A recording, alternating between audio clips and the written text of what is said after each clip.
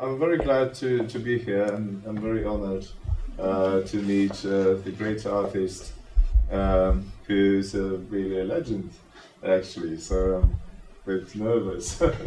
yeah. so uh, we are going to have uh, this little conversation, but of course you are invited to to join us. So if you have, uh, uh, we'll have some some time afterwards after after our conversation uh, for you. But if you have any questions, uh, well earlier, then just don't be shy and ask them. Yeah. So let's. It's very intimate. It's a very small but devoted audience. so. Um, so don't be shy and, and join us, okay? If you have any any questions and if you want to join the conversation. So um, okay, so uh, let's start.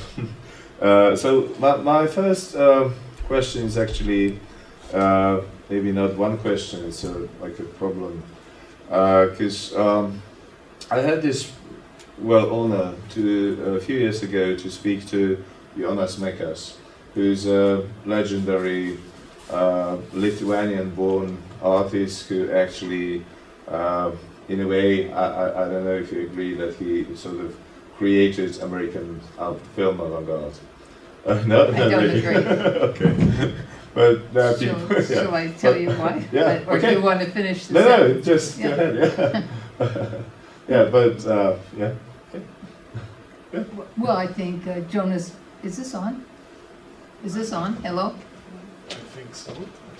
Check. Check. Uh, no, it's on. So uh, I think Jonas Mekas, um, did a lot to contribute to avant-garde film in the United in the United States and internationally. Mhm. But in terms of the American avant-garde, I think we have to look to Maya Deren. Mhm. Yeah. And even before that, to James Sibley Watson, Uh-huh. who did Fall the House of Usher in 28, Mhm. you know, and, um, And actually, you rediscovered him with Sanctus and also your documentary and Nitrate X-ray, Kisses. yeah, yeah. Yeah, yeah. yeah. mhm. And, you know, Lot and Sodom, Mhm, which was a mhm. queer film, was shown in, uh, I was shocked to read this, it was shown in Times Square mhm, in 1933 without any censorship at Mhm. all. mhm.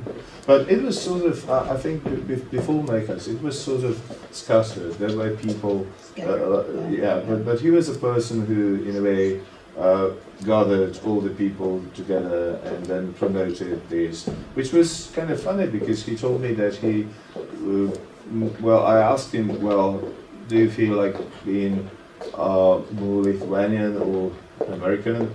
And he says, no, I'm not American, I'm New Yorker. but whenever I go out, out, outside New York, Mhm. I'm just a foreigner. yeah. Mhm. But actually, my question is uh, I asked him uh, to uh, define. Oh, There we go. wow. That's I knew it spectacular. wasn't working. That's spectacular. Uh, so, so I asked him about his definition of um, experimental film, Yes. and he said, "There's no such thing."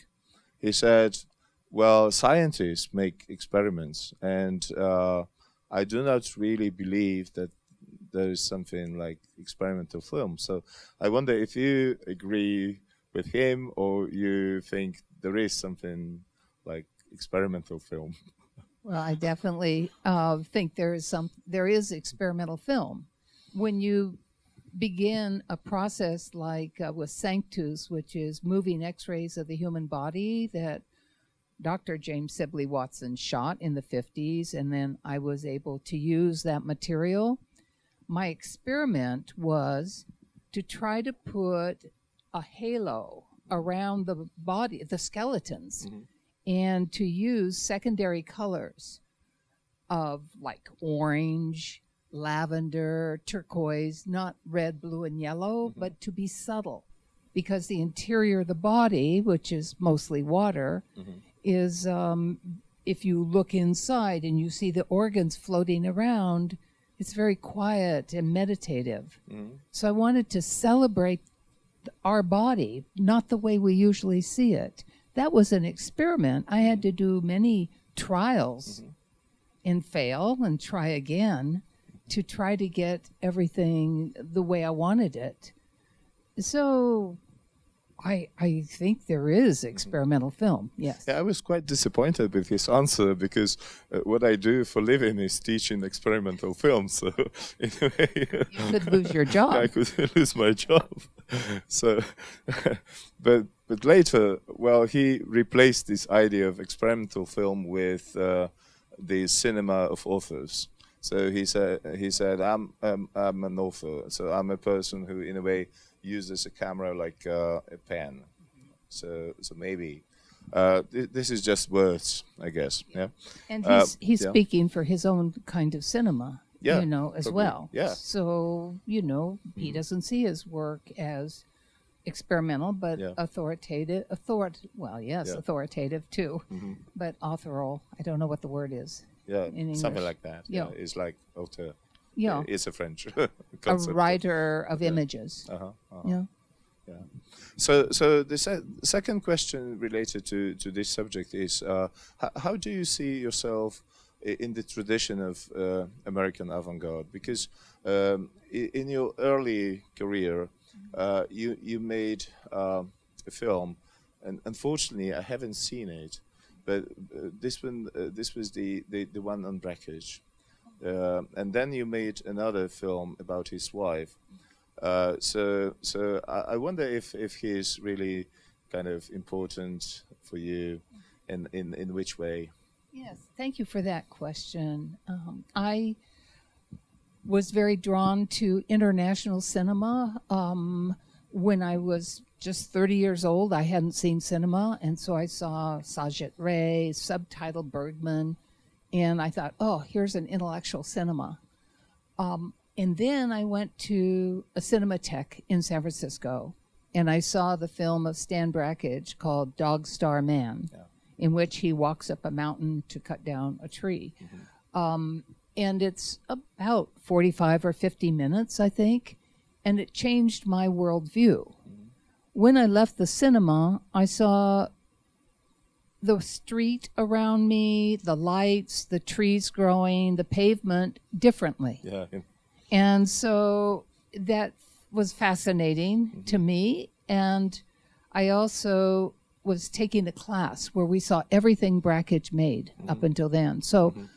an early film is uh, dedicated to him, and he's in it. Brakhage song, Song of the Clinking Cup, I think it is. I don't.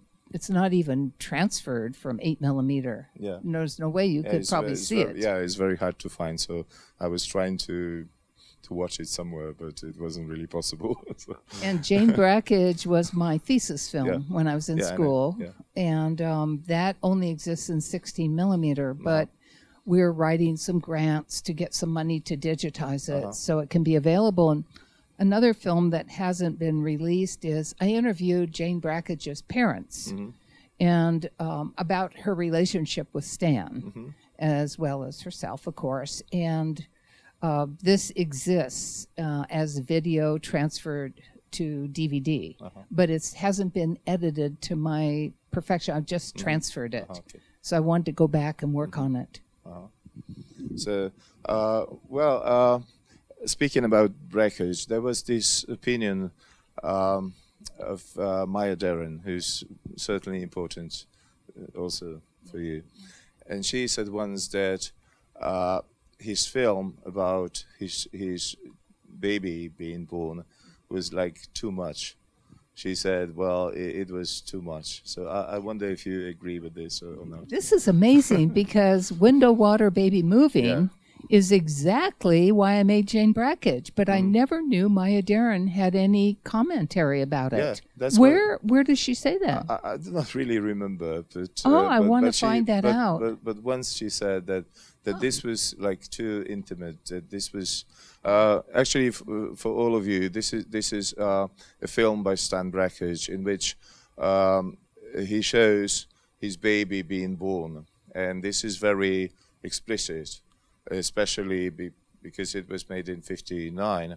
So at that time, uh, it wasn't that common uh, not only to show childbirth on film, but also for a father to participate. Yeah, uh, yeah? so Yes. it, it wasn't really common at that time. I guess. No, and we can thank him for that and for his other when he went into the um, morgue seeing Yeah. with one's own eyes. Yeah, That not quite correct, but again, he's very concerned about Mm-hmm. looking for perce- at perception. But I really objected to that film Mm-hmm. because, especially after I met Jane Brakhage, because he shows her as an earth goddess. Mm-hmm.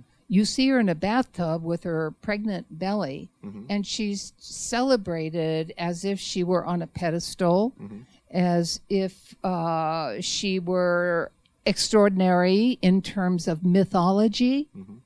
And so I decided I wanted to meet her. Mm-hmm. So we invited Stan and Jane to San Francisco State University, where I was a graduate student.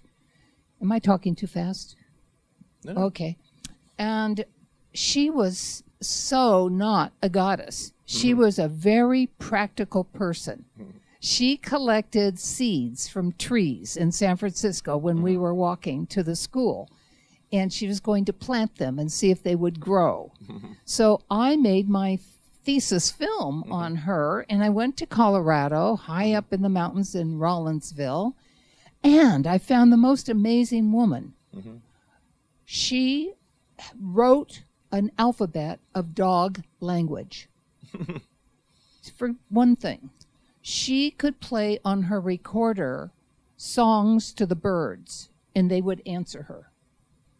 She put out the laundry and then opened her hand without any food in it, and birds landed on it. Mm-hmm. She took a walk through the snow. I was there in January, and her donkey and goats, besides her dogs, followed us oh. on the walk. She's an extraordinary woman That's amazing. who was abused by Stan Brakhage. Yeah, in a way.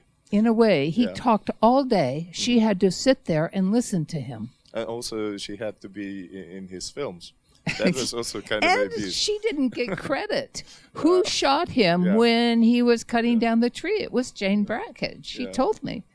And that was, uh, I think, the problem with his second wife, who didn't want to be in, in films. So Yeah. then he started making these non-camera uh, films, only Mm. you know, like painting and scratching and, and stuff.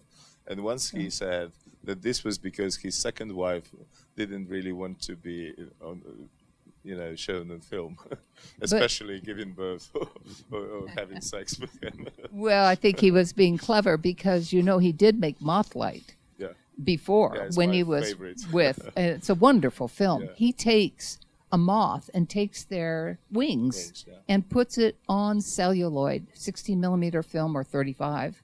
I saw it and I forget.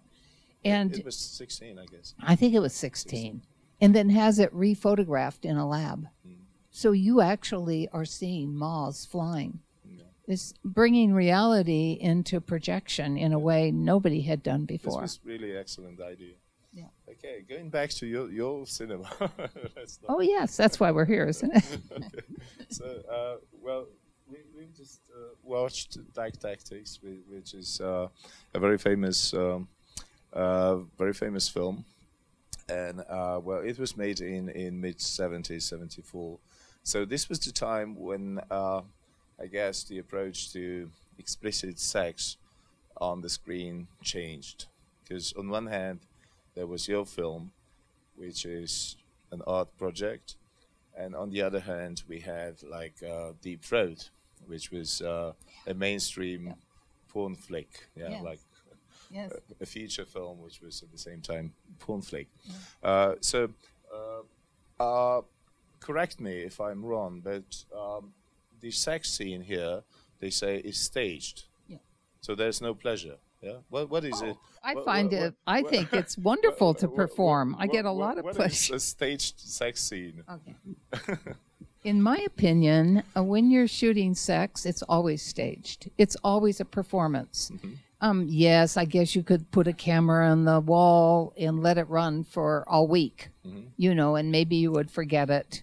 Um, but I think there's pleasure in performance, and there can be pleasure in a stage set. Mm-hmm. Um, but you're very aware of the camera being there, and besides, with the Bolex, mm-hmm. you only get 19 feet. Mm-hmm. So it's going to stop Yeah. and you can giggle Okay. you know, and then they wind it again. And anyway, I'm in the film uh-huh. and I'm directing it. Mhm, yeah. So I know it was staged. I know it was pleasurable. Uh-huh.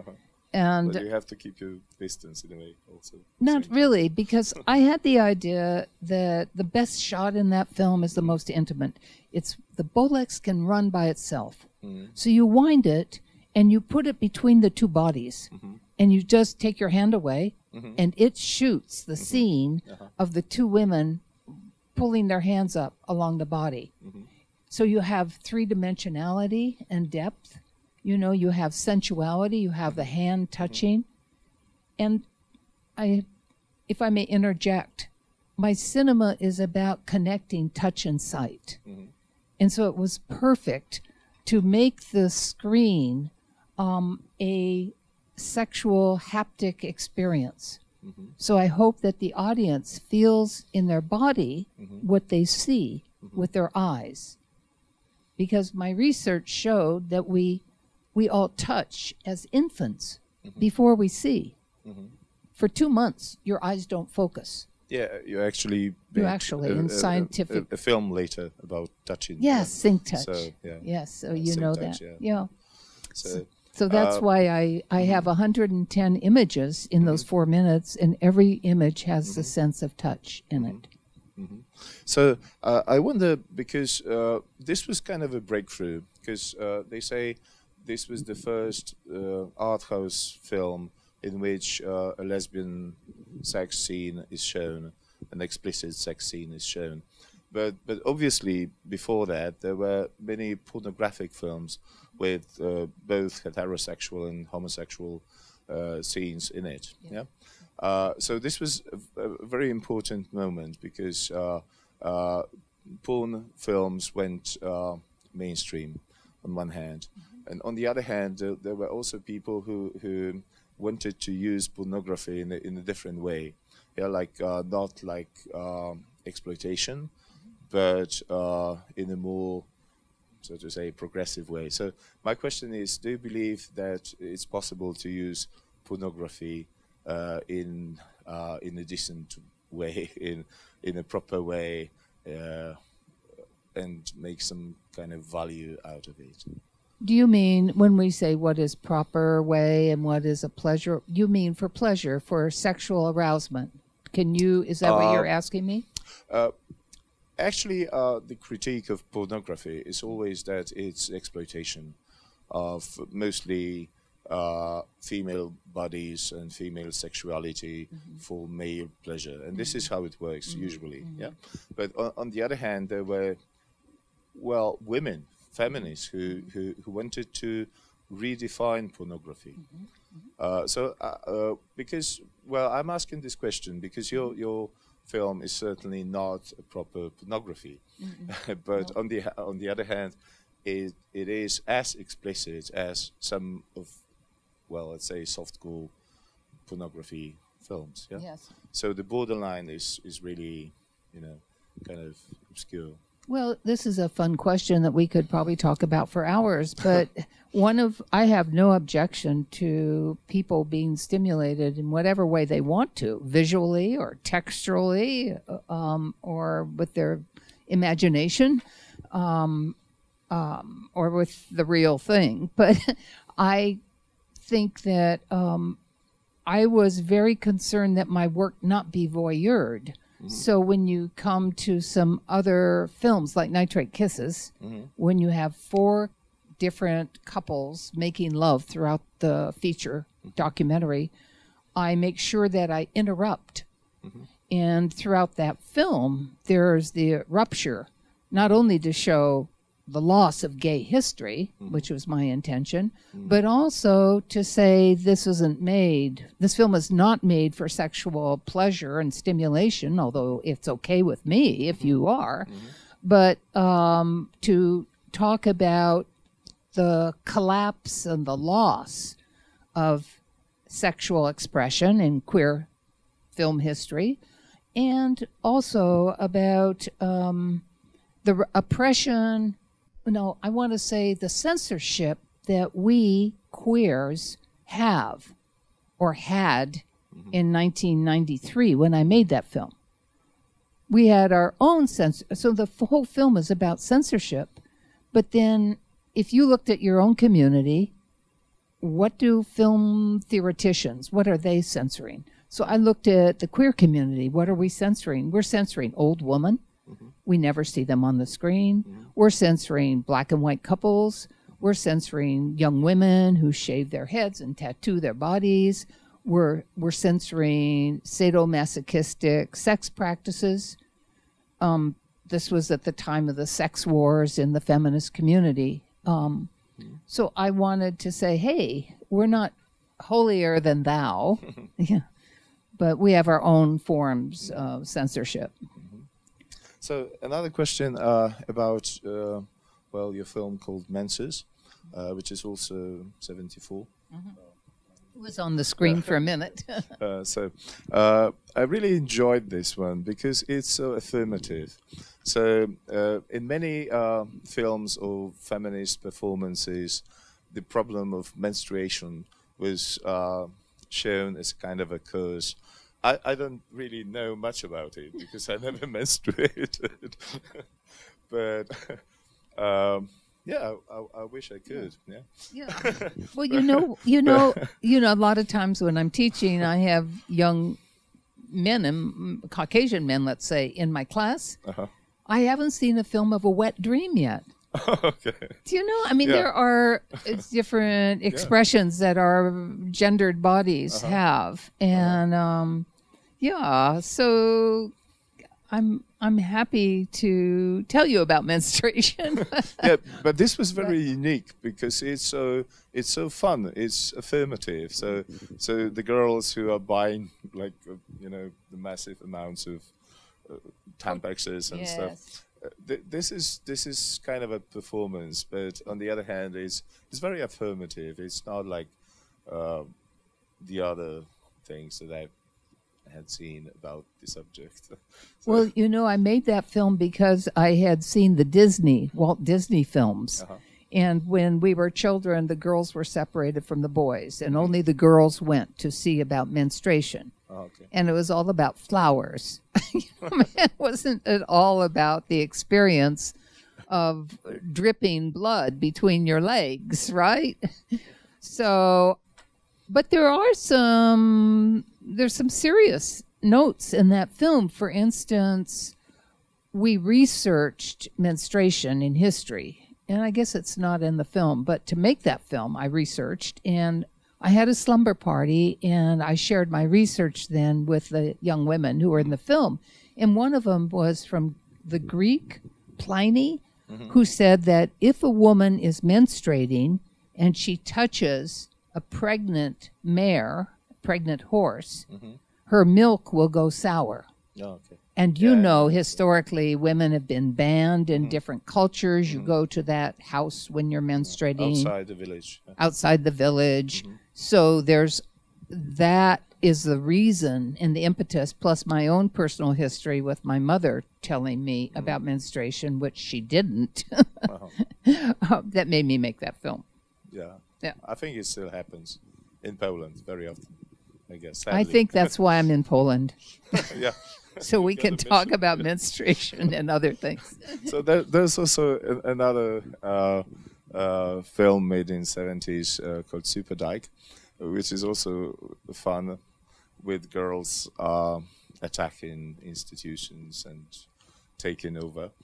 Uh, so uh, when I was watching this, uh, I, I had this uh, question if uh, uh, if uh, experimental cinema or avant-garde cinema uh, is the best tool to be an activist, because once uh, a German filmmaker who who also uh, made experimental films in the 70s, uh, I mean Rainer Werner Fassbinder, uh, he has he, had this problem that he wanted to make um, radical cinema, but then he realized that the audience he wanted to ad- to address really wanted to to watch melodramas and uh, American Hollywood film. So his avant-garde and experimental cinema was actually going nowhere because those people he wanted to, to reach they wanted to, you know, to to have more contact with mainstream culture. So I wonder what is your opinion because certainly you make uh, experimental cinema, which is not for everybody. Yeah. No. But on the other hand, certainly it's an activist cinema. So you wanted to, in a way, change the world with it. Yeah, it's a big word, but but yeah. but I'm I'm I'm functioning as a visual artist, and that I can only make what I can make and what I want to make. And if I'm self-funding my films, which I was for many years, the '70s, I think, for 15 years at least, I made the films out of my own pocket. Then I have to be giving myself pleasure. I have to be doing what I want for the reasons that I have, and they don't necessarily have to do with activism. But you know, one thing, Foss, and I, my audience is the same as Fassbinder's. They want a narrative. They want a lesbian happy ending, or you know, um, this was in the '70s and the '80s. The queer audience wasn't used to experimental film any more than the straight audience. So I can't say that my films were, you know, uh, well attended always until you know sometimes they were when when my name became known but mainly mainly if there was a celebration and we could have a dance afterwards because there was So all, the times were different, yeah. the times were different but the thing is Fassbinder isn't alive today and I am. Oh yeah. so I'm wondering about his change of direction. Do you see what I mean? If we Uh, don't yeah, do what really yeah, pleases us maybe we get depressed and choose an end before Yeah, actually, I think his end. problem was like different. It was more like drugs and alcohol, and this was what killed him, I Mm-hmm. guess. But then we can ask what why the drugs and alcohol. Oh yeah, I mean, you know, there's always this know. question. Okay, so um, uh, there's also another thing that I want to ask about uh, film uh, "Women I Love," because um, in this film you're using a slightly different imagery. Because in the early films you were uh, explicit, so it was maybe I think at that time it could could have been quite shocking to some people to see like uh, explicit sex scene. And then uh, in uh, Women I Love, you use uh, Georgia O'Keeffe style imagery like fruits and vegetables, evoking uh, well sexual images. Yeah. So quite recently, um, there was this exhibition. I, I think it's still on in Tate Modern. Uh, I mean Georgia O'Keeffe exhibition, and it was. Uh, uh, I, I wonder if you know that there was a small scandal because this exhibition was sort of s- censored by the curator, who decided not to show too many, you know, those explicit vagina uh, pictures. Yeah. So there are only like six or seven of them uh, in the entire exhibition, and all the rest are, you know, different pictures. So, so they said that she was like too shy to show those images, and we have 21st century, and this is not like you know, pornographic images of vaginas. Th- These are flowers evoking vaginas. So- and Georgia O'Keeffe said Yeah. that they were not sexual. To her, I mean, I don't agree with her, but she said she was painting flowers, right? yeah. And um, mountains with curves in them and valleys. Uh huh. So uh, I, I, I'm asking about your preference. So, so uh, because you, you started with explicit images, and then you started to exploit more, um, well, evocative and uh, po- metaphorical and poetic images to show sexuality. Mm-hmm. So, so why is it so? Mm. It just happens. Well, you know, you could say that um, the film Women I Love was 1976, just mm-hmm. two years after Dyke Tactics. Mm-hmm. And then in 93, I'm showing explicit sexuality again. So, and in history lessons in 2000, I'm showing pornography, mm-hmm. pornography of lesbians made by men. Mm-hmm. Um, so I don't think there's like some adverse reaction that I was having to sexual expression, I was interested in animation. and also, these were six or so of my lovers, six or seven lovers that I had no intention really of making a film when I started. I just was shooting our relationship. And then it seemed to me on one rainy day when there was nothing to do but make a film that the each woman could represent a different fruit or vegetable and I only had that material that I had shot to work with, and so that became women I love. Uh, this, this was also interesting what you said about uh, well um, lesbian pornography shot by men. Yes. So I wonder if it, why is it so like uh, uh, popular among men to watch lesbian pornography? Well, I'll have to ask you that. Uh, But let me talk about history okay. lesson, if I may. So there were three. Um, there are three feature um, documentaries, essay documentaries, films about ideas rather than talking heads about somebody or other. They're all about queer history. So after Nitrate Kisses, I made a post postmodern autobiography called Tender Fictions, and that was followed by uh, the film History Lessons, because if you look for lesbian cinema, there wasn't any. And I felt like we needed to have a foundation. We need to build our culture. So I would take what was already there, which was medical films made about lesbian, educational films. Oh, don't let your daughter get too close to her schoolmate. Pornography made by men, going back to 1920, I found one. Um, and make a comedy out of those so that that could be our history that we can and that's very queer to take something that already exists turn it around make it malleable and flexible and reclaim it. That's making cinema space queer space.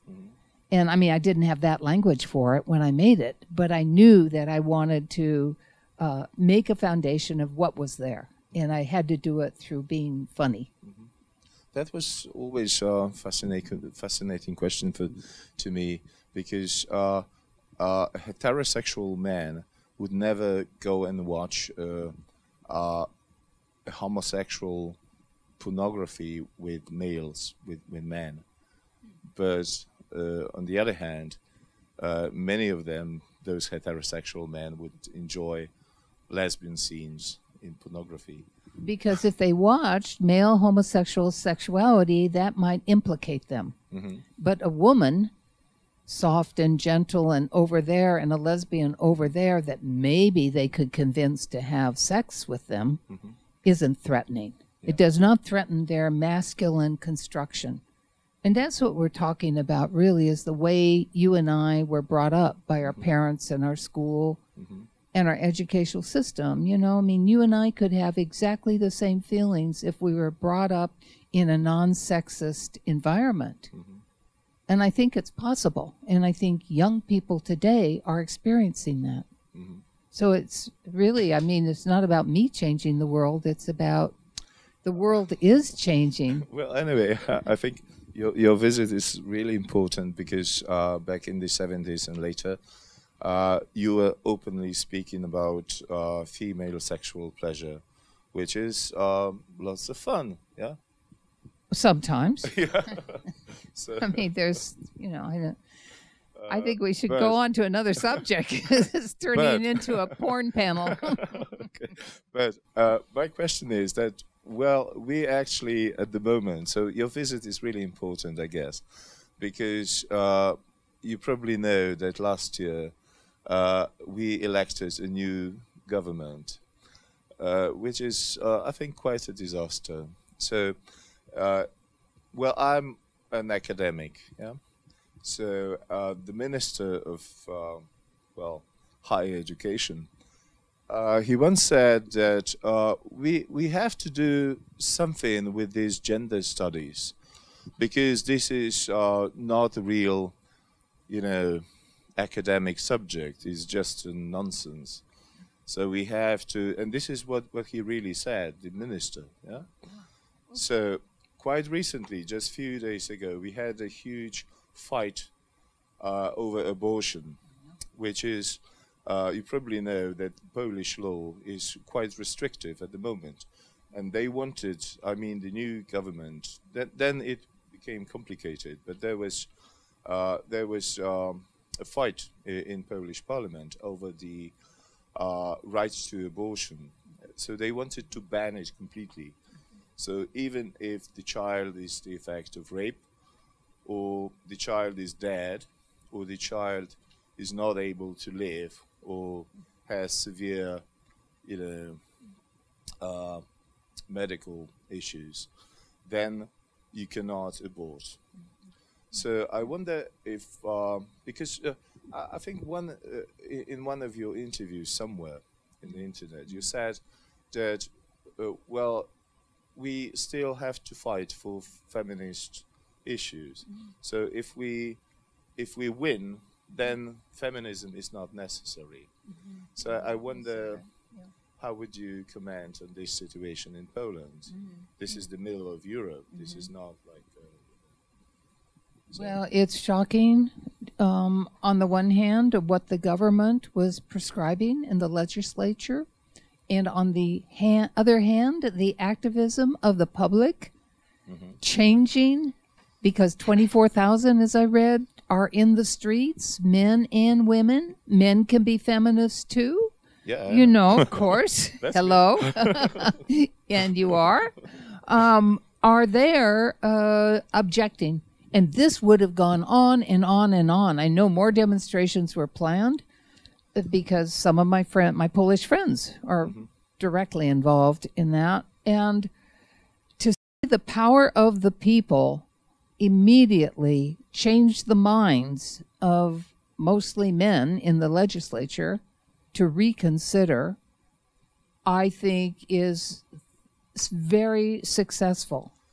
Well, I think it's successful, but on the other hand, um, I also have some doubts about it. Tell me. So I, I wonder if it's not like uh, that they really didn't want to change the law in the first place, Oh. but they played it. Played it because of the president? No, no, they just played it because uh, they just wanted to make people come to the streets and protest, and then say, "Well, we are listening to the people." Yeah. I don't think they're that smart. Uh, Did I say Uh, they are not too smart.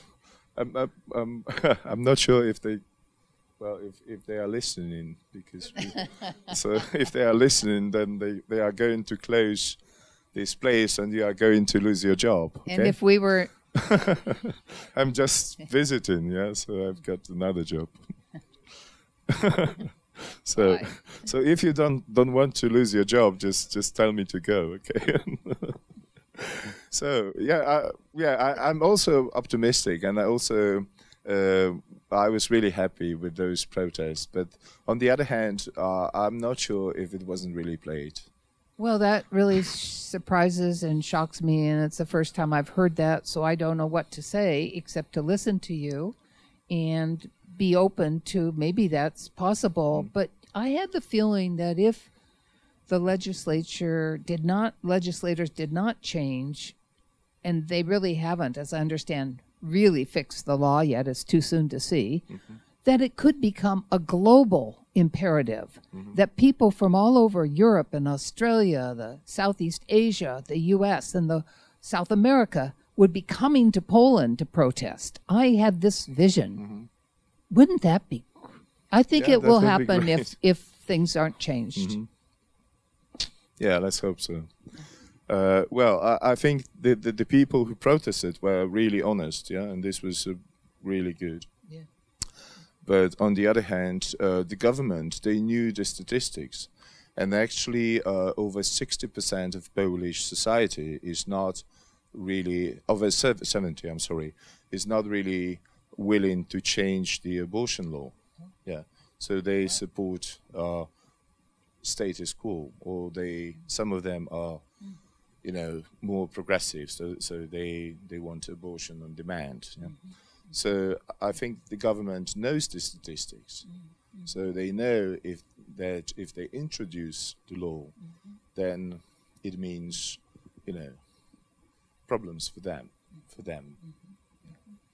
Well, anyway, so another another another subject is related to uh, to the film that I really like. It's called Pools. It's um, it, it's different because uh, it doesn't uh, on the surface it, it doesn't have uh, a feminist subject. It doesn't have like uh, there's no, but underneath there is something because actually it's a, it's a, it's a film about uh, a female uh, architect yeah, who designed this uh, strange palace for Citizen Kane. Yeah, so uh, so I wonder because in this film and also in some other of your films you use uh, manipulation of the uh, footage, you know, of the stock of the film stock. So so you use drawing, uh, like uh, maybe a bit Stan Brakhage style. You also use this technique. So so what what made you so so interested uh, in uh, the uh, the very substance of, of uh, film stock? Well, um, I began to identify as an artist when I was 27. And when I was 30, I was taking a painting class. I thought I'd be a painter. Uh-huh. And um, my teacher came up to me and he said, You're more interested in movement than you are in putting the paint on the canvas. Our subject was a woman on a motorcycle. She'd come right into the studio, and I had painted her with four arms and four legs. I'd never saw Duchamp. You know, mm-hmm. I didn't know that much about art at that time. Maybe I still don't. But in any case, that's what he told me. And he brought in some clear film without any image on it and a projector that was open, not encased. And he told me I could paint on the film. So I started painting on the film mm-hmm. and projecting that onto the canvas. And then I started painting with black light, fluorescent film, mm-hmm. and showing black light and then turning it on, turning it off. So I had more movement. Mm-hmm. And I think he's right. I, I mean, I used to paint all the way around the room. I'd stretch my paper, not canvas, and I would work, work, work, work, work. Mm-hmm. You know, because he was a post abstract expressionist, so you're supposed to find your gesture, you're supposed to find your language. This was the, you know, what So- I so heard. do you feel like attached to this tradition of uh, abs- abstract? I love abstraction. Um, 'Cause, uh, I don't feel Stan attached to it. In a way, he was too, yeah. yeah, in Yeah. miniature, yeah, because he was like uh, Jackson Pollock worked in a Yeah, like a huge yeah, scale right. with huge canvases, Yeah. and uh, Brakhage was just uh, Painting on the frame. Yeah. But then if you go to Snow Job, the media hysteria of AIDS in 19, well, 88, I think. Mhm. No, earlier than that, 1985 or 6. I'm talking about media Mhm. and how media has distorted um, the truth. For instance, there are bumper stickers in the United States that say, um, you know, eat like a Republican and you won't get AIDS. really crazy things, you know, like um, don't let your hairdresser sneeze on you, you know, full of stereotypes. And so I'm, you know, I turned then in 85 to um, a critical cinema, a cinema that was led not by my body, but by my mind, which is part of my body, but not neglecting it and finding my pleasure in intellectual research and critique. So I think when you're talking to a cineast who's worked for 40 years, like Picasso, there are stages in the work. And uh, I think that's the way my work should be addressed. Okay. So the next question is related to another film that was shown here yesterday called Sanctus, and there was also this documentary about X-ray. Uh, it's not a proper documentary; it's a documentary essay. But um, so so you discovered the, this uh, can of film in Rochester. Yes. There's this excellent archive, uh, the, the George Eastman House. Uh, so so so so this was really fascinating. So so I wanted to ask about this. Uh, what what was so interesting in, in, in those X-ray films for you? Because you were before you were showing the, the surface of the body, and then you, you go deeper. Uh, and then uh, there's also another approach because this is to some extent it's a found footage film. So in a way you manipulate it, you, you change it Yes. uh, somehow. So it, it was Yeah. probably a new experience. So uh, th- there's this filmmaker, American filmmaker, uh, whose name is Bill Morrison. Oh, I know Uh, Bill. uh, so I- I, think there's something like Oh, a yeah, we- relationship oh, be- yeah. between Very your much. films and his Yeah. uh, Decasia and other. Uh, Dawson City, his new one. He just premiered it in Venice. Yeah, I know. I haven't Yeah. seen it yet. I just saw it. Yeah. Yeah. So It's beautiful. So, so, so again, we are going back to, to the film stock, to the Mm-hmm. very substance, to something that's really material. Mm-hmm. So I, I think there's also kind, kind of a evolution because in your earlier films, you were just using cinema as a kind of a tool to show Mm-hmm. reality, and now you try to in a way explore it and understand something that is very substantial. Yes, the fact that it's a chemically based and that it can burn, that it you can drop acid on it, it can make the most beautiful circles. You can throw salt on it. We're in the land of salt here, which is a crystal formation, you know, which creates facets of light then. Um, there's many uh, the manipulation i've taken film i've put it through a sewing machine and then rephotographed it in the film endangered where i'm talking about the life on the galapagos islands being endangered and really all of us. Um, because it is a material form. That's the reason you know and because approaching it as a painter originally um, I I want to put my hands on it and and move it around, but now it's digital. Okay. So So- so so the next ne- ne- next film is uh, uh, one of my favorites, may- maybe my favorite. Uh, I mean, Nitrate Kisses from the early '90s. So there is some kind of relationship between previous the Sanctus film and this one.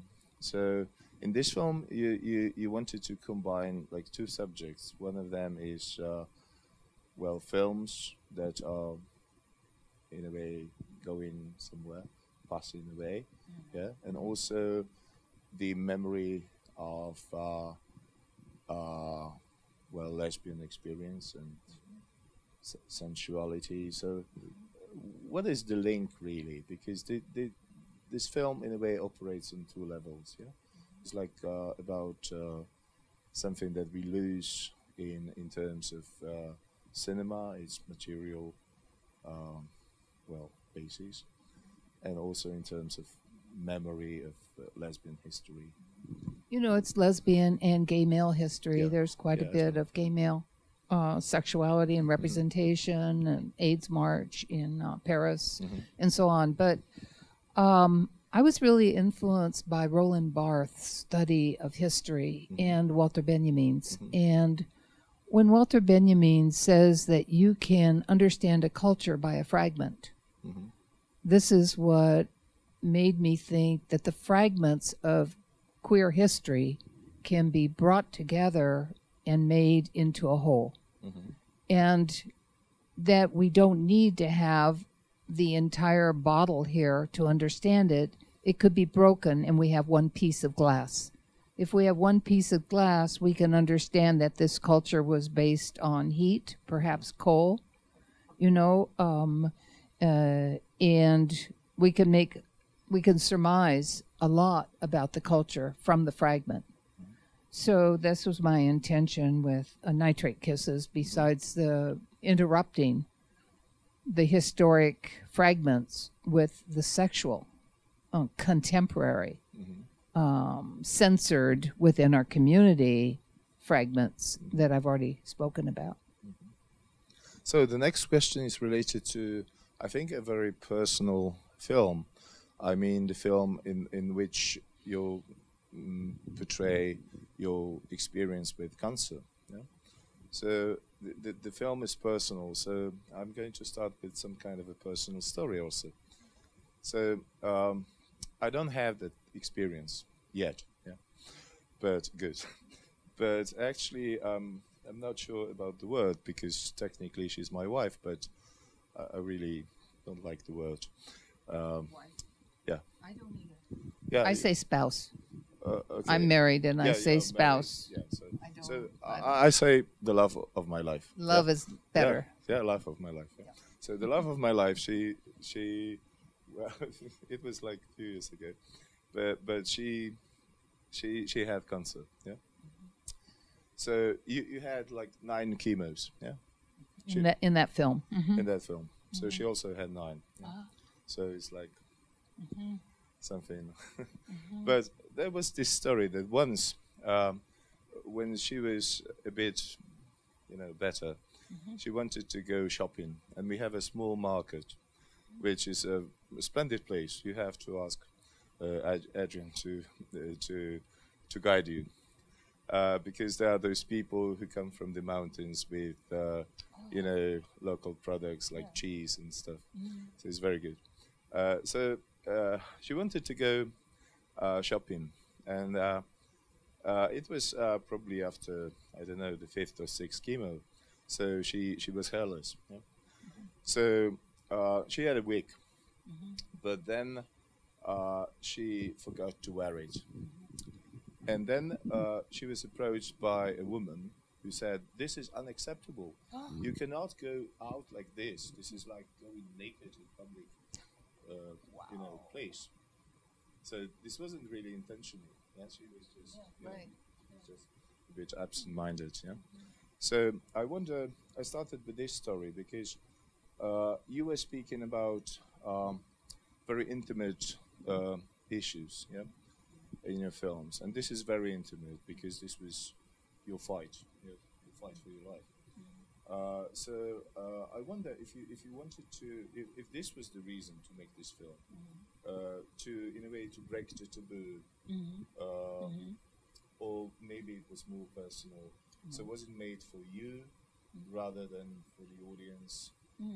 You know, um, I think all my work going back to Dyke Tactics and even before that, there was some films called The Gay Day, is to make what isn't seen visible. To you know, people use that phrase today, but they didn't used to it to make the invisible visible. I had never seen a film or read a book about going through cancer treatments through chemotherapy, that kind of treatment. Mm-hmm. That's why I made the film. Mm-hmm. And also because people don't know about ovarian cancer, mm-hmm. which is the kind of cancer that I have. And I wanted to share because ovarian cancer is misdiagnosed many, many times. And if you knew what the symptoms were, you would be able to survive it. If you were if you could catch it in the first few stages of it. And so at the end of the film, I write a, I'm- the text is on the film, bloating, you know, frequent urination, back pain, um, and other, you know, symptoms. But many doctors, you go to them and they say, oh, you have gastrointestinal issues. They don't go and then take a scan where then they could see, mm. ah, there's a tumor growing on the ovary. Mm. Let's get it out mm. and do a complete hysterectomy, which is required if you're going to, you know, survive. So these things that I learned because my cancer, I had frequent urination, but I was in Thailand and I was hiking the temples. And I thought, oh, and I'm drinking a lot of water. Mm-hmm. This was the reason. Yeah. If I had known that when I came back mm-hmm. and gone to the doctor, maybe I would have caught it earlier. Who knows? Mm-hmm. But that's So it wasn't The like reason. f- for for you to cope with it. It was rather for the other people. For I never thought I'd make a film on that. I mean, um, I didn't shoot it while I was going through it. My friend shot all the footage of me with the bald and walking nude in the forest, and my spouse, lover shot me in the waiting room and getting the chemo dripped. And then the last day, I decided to take the camera myself because the light was so beautiful coming through the chem- the chemistry that was hanging there in the bags. Um, so that that was um, how I got the footage. So it was only you know maybe a year or to a year and a half later that I decided to make the film because people said to me right away, "Oh, you're going to make a film of this, aren't you?" No, did- no, I'd never show something so awful as going through chemotherapy. Um, so that's the reason Yeah, behind this it. was this was probably a new experience because you used someone else's footage uh, and actually edited this, adding something for, f- from you. Part, So- partly, but you know, if you go back even to Dyke Tactics, somebody else shot that film. Mm-hmm. Yeah. You know, I'm saying, come on over. mhm. And I said, pet us as if you're stroking us. Mm-hmm. Pretend, you know, that you're being sensual with us with the camera. Mm-hmm. So she would move it the way I would want. Mm-hmm. But I didn't shoot it. So, you know, I mean, there's, But I think that's gone on you, for a you long didn't time. shoot it, but but you directed. I directed. Yeah. Yeah. And in this case, I didn't direct. because Yep. this was somebody else Mm. just observing. Yeah. So uh, probably, um, well, I, I should give you a chance to ask your questions, but I have just one more Hmm. uh, about uh, other film that I really uh, enjoyed a lot. Uh, this was the film about Maya Deren. Um, so uh, you said that, uh, well, in a way, she started everything uh, in avant-garde cinema. Although, of course, there were people making avant-garde films earlier before she made Meshes of, uh, of the Afternoon. But but uh, I, I- would like you to to I would like to ask you to comment on your relationship with Maya Deren. Uh, to is, is she mm-hmm. still like mm-hmm. important for you? I- she's important to all of us. so I'm taking film history. There's a hundred of us in the audience at San Francisco State University. Um, before they let me in the master's program, because my first master's degree was in English literature, my BA was in psychology. Mm-hmm. So I was just beginning film studies. I hadn't heard of Truffaut, etc. You know, naive, thirty-year-old naive. Every film for the whole semester was made by a man. I couldn't believe it. This class was almost over, and we hadn't seen a woman director. Suddenly, on the screen came this 15 minute black and white film. I knew it was by a woman mm-hmm. because she was, the images were entirely different from what a male director would shoot, mm-hmm. and because she was working from the inside out. She was showing her emotions through um, her directing. Even if she was in the film, she was directing. Mm. And I thought, aha, I'm sure I should make cinema now. Mm-hmm. Because if they don't show anybody for the entire year, except for this one short film, there is a blank screen in terms of women's cinema, and in terms of lesbian cinema, there's absolutely nothing. So that was important. Then when I studied her, she was more than a filmmaker. yeah. She did what we're doing. She went out in the world to universities. She set up lectures and screenings. Then she is a theorist. She wrote theory. Yeah. And you can get that and read it today. It's just as invalid and relevant as it was when she wrote it. And she set up a distribution system so that people could rent the films, universities, uh, cinema clubs. And this was really remarkable. She made, she lectured, she distributed. You know, she was a powerhouse of a woman. I never, of course, met her. She died before I even began to think about film.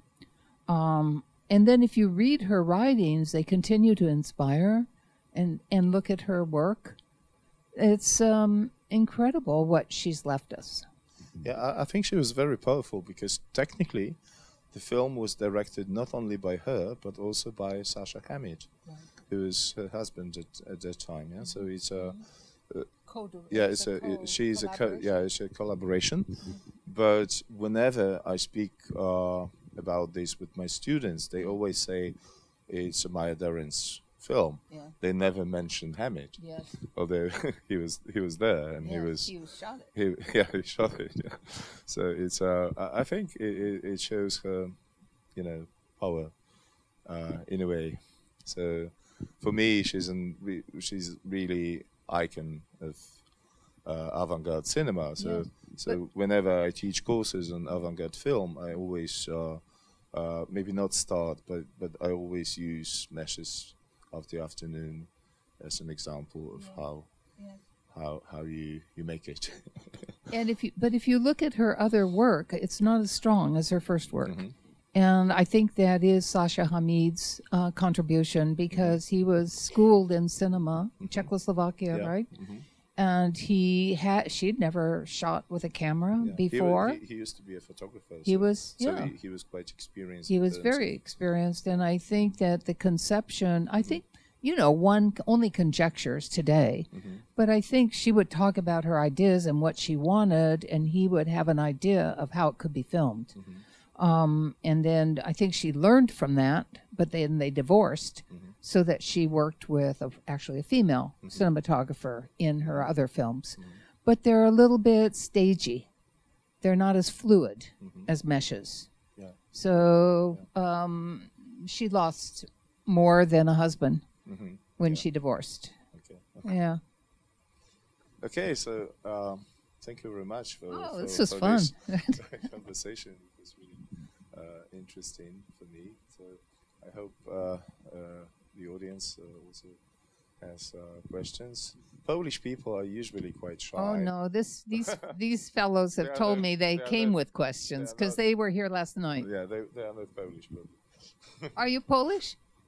Ah, we're changing Poland. If we're out in the street, we're also talking in the auditorium.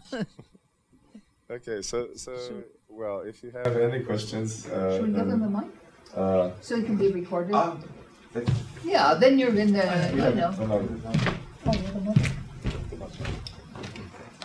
um, yeah. it's- Um, can you hear me?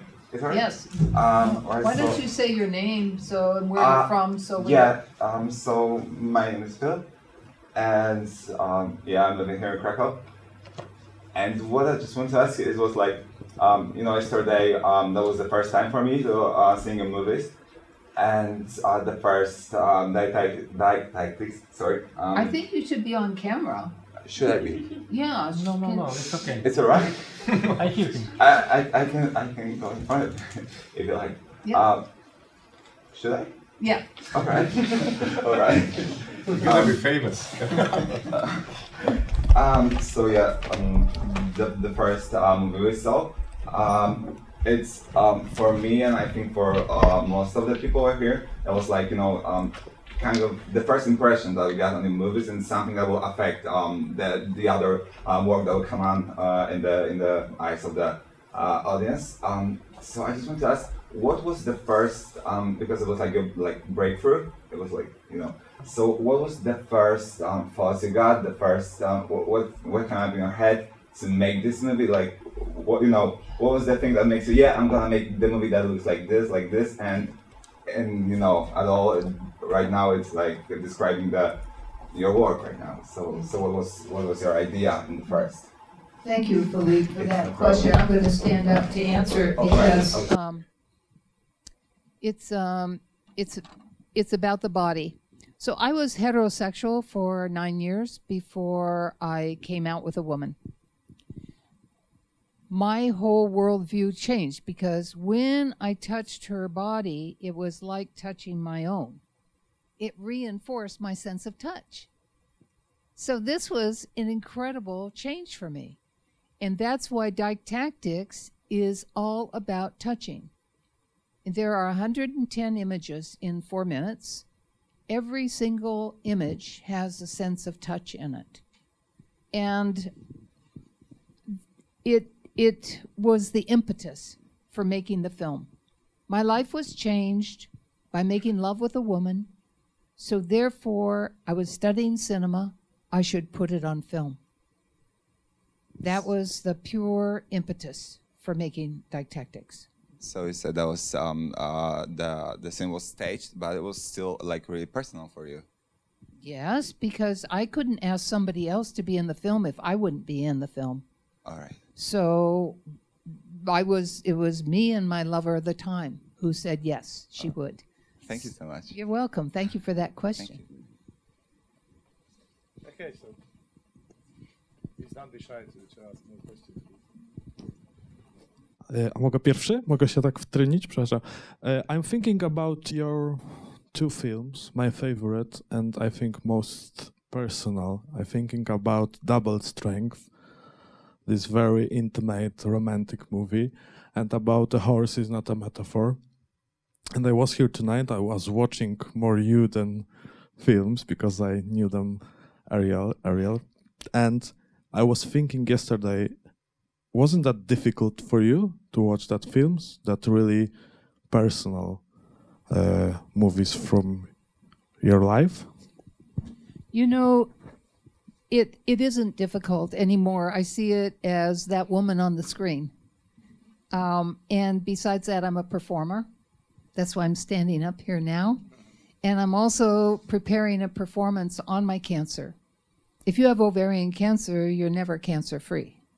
So I am preparing a, a new piece having to do with x rays and my body, and I'm going to do it in front of people.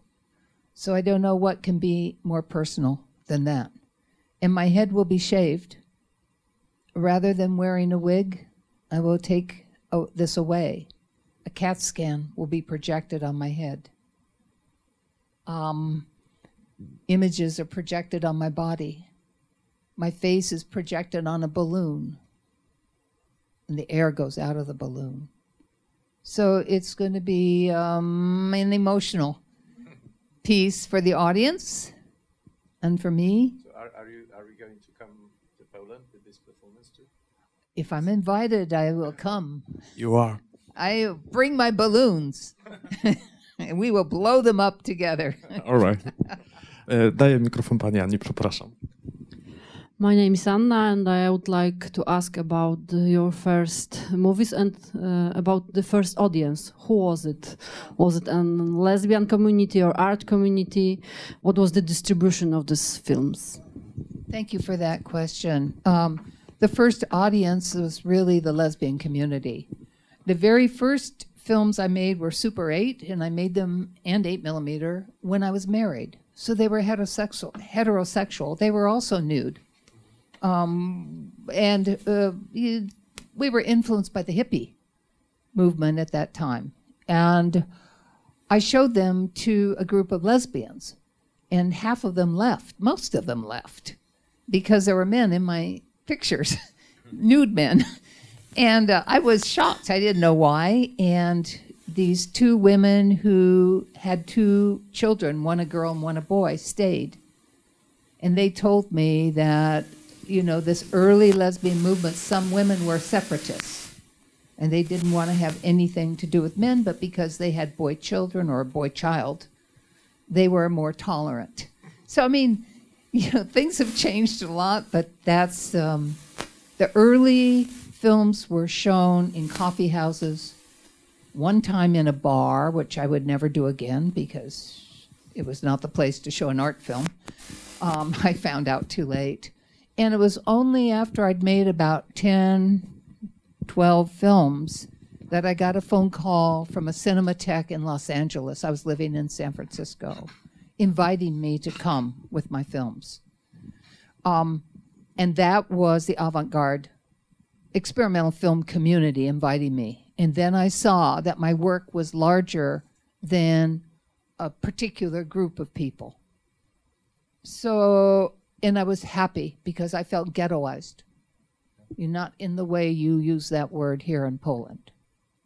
But I felt a restricted audience because I didn't make it just for lesbians.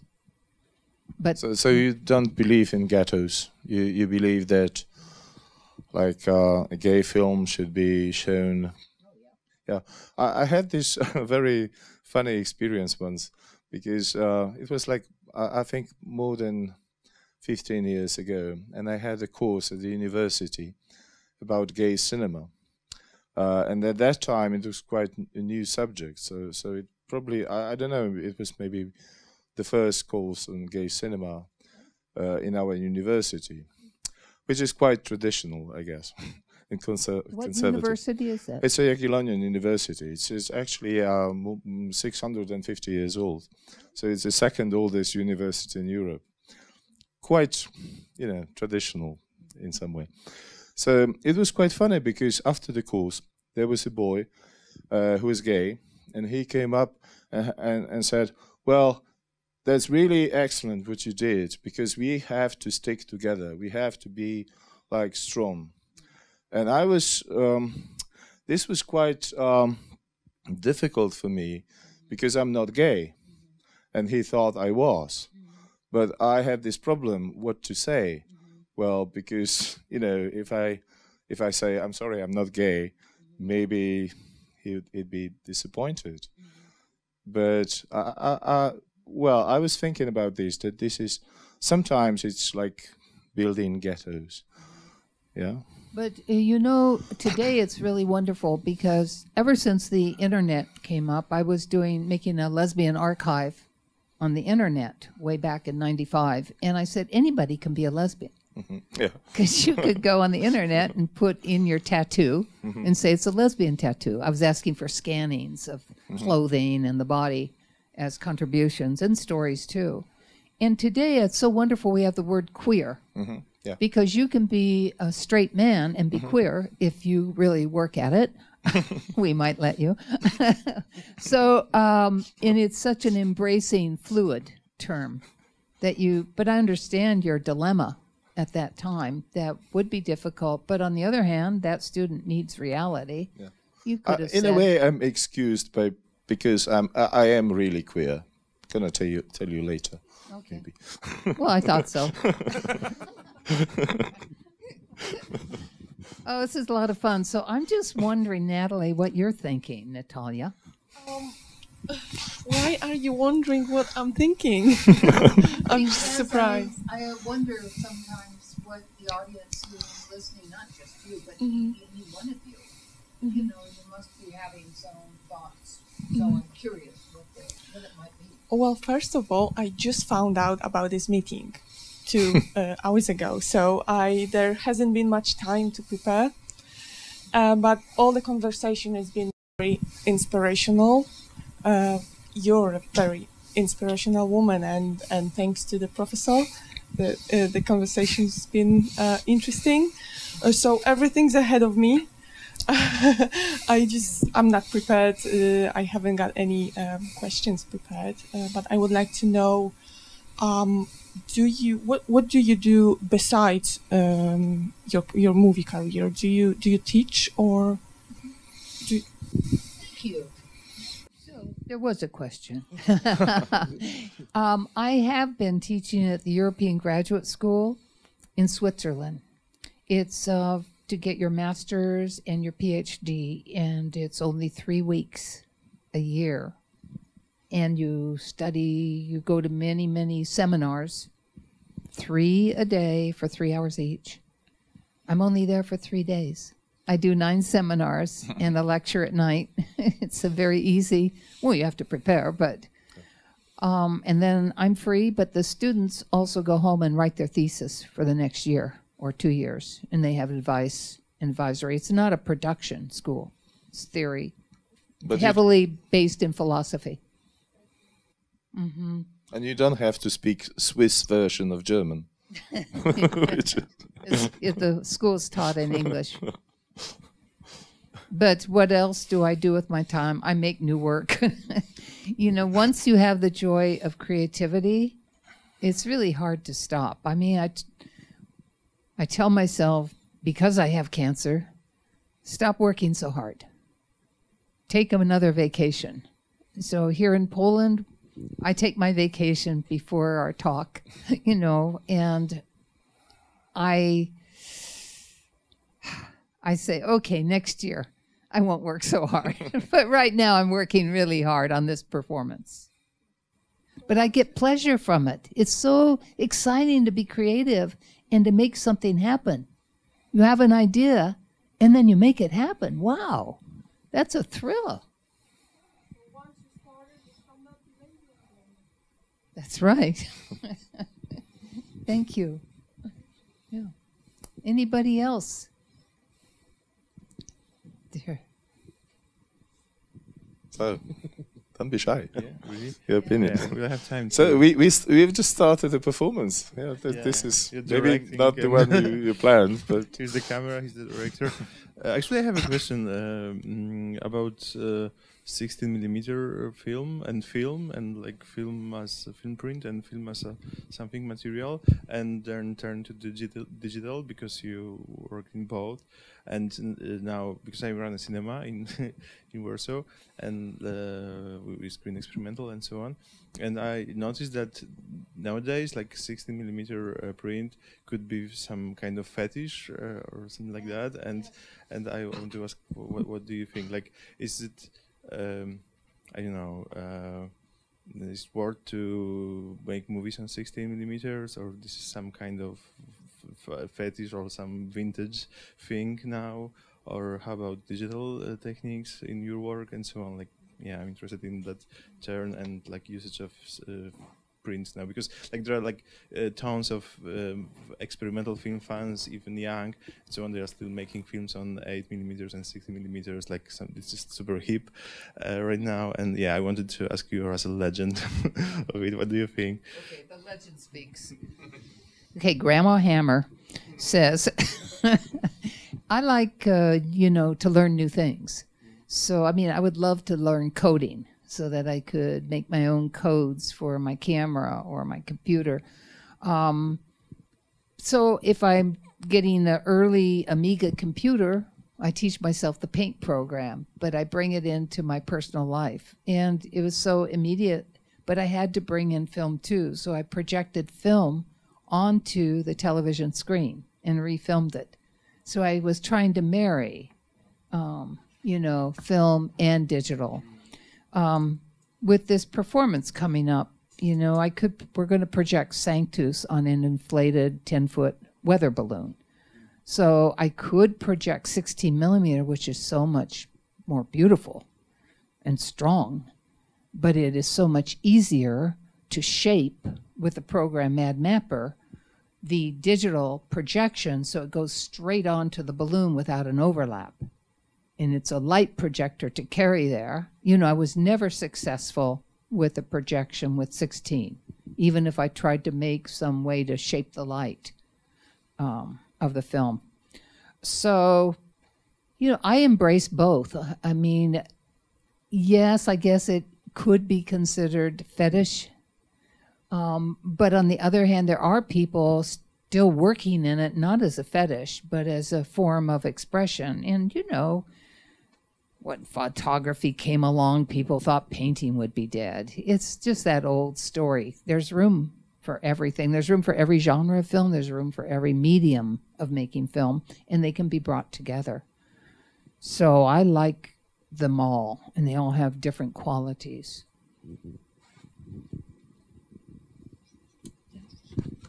so we have one more question, please. I would like also ask about the political effect of your movies. Are there any political effect? What do you think about it?